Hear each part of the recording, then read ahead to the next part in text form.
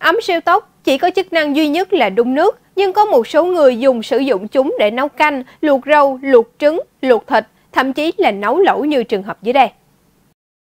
Gần đây, trên TikTok đang lan truyền clip một nhóm thanh niên hồ hởi ăn lẩu bằng ấm siêu tốc, bất chấp nhiều nguy hiểm dù trước đó có không ít những cảnh báo về việc lạm dụng ấm siêu tốc vào mục đích gây cháy nổ, chập điện. Clip một lần nữa dấy lên lo ngại về mức độ an toàn của hành động này trong cộng đồng mạng, bởi nhiều người cho rằng khi ấm được kích hoạt đốt nóng trong thời gian dài, cùng với môi trường xung quanh vương vãi nhiều nước, có nguy cơ rất cao dẫn đến chập điện hay vỡ, nổ ấm siêu tốc khi đang ăn.